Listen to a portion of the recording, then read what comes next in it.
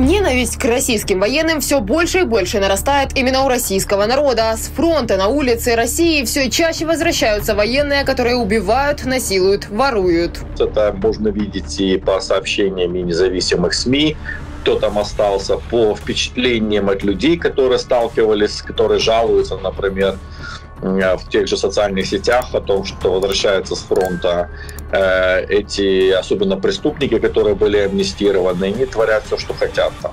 В российских СМИ день за днем всплывают новости с военными и ранее перечисленными историями. Поэтому администрация президента РФ дала новые указания государственным и провластным российским СМИ не публиковать новости о преступлениях россиян, которые вернулись с войны в Украине. Они же героизировали этих людей, героизировали тех, кто воевали, и, соответственно, они э, не хотят дальше рассказывать о последствиях того, что происходит что они приходят э, с войны, они привыкли убивать, они привыкли безнаказанно себя вести и, соответственно, продолжают себя вести как на войне.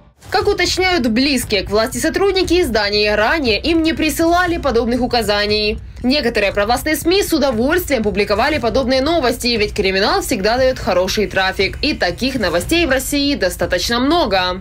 А все потому, что воюют в большинстве случаев за РФ зэки, которые сидели за тяжелые убийства, те же грабежи или изнасилования. Или же все вместе. Также бывшие военные ЧВК Вагнера, люди с алкогольной или наркотической зависимостью. По возвращению домой эти истории повторяются. К примеру, из недавних новостей всплывают и вот такие. В Карелии вернувшийся с войны зэк вместе с другом убил 6 человек. В Чувашии вернувшийся с войны бывший зэк из ЧВК «Вагнер» убил односельчанина. Еще один участник ЧВК «Вагнер» убил человека после возвращения с войны.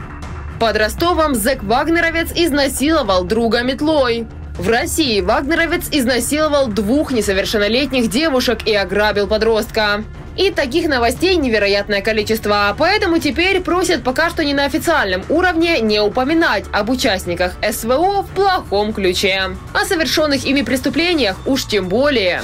Если они видят, что официальная пропаганда поддерживает этих людей, то и они стараются лишний раз не идти против официальной пропаганды. Как объяснили в администрации президента, рекомендация дана, чтобы россияне не считали бойцов потенциальными преступниками и не боялись их возвращения. Все должно выглядеть так, будто с фронта возвращаются реально вежливые, чуткие и заботливые люди. Но у президента не учли, что даже скрыв новости, убийства, воровство и насилие никуда с улиц России не исчезнут.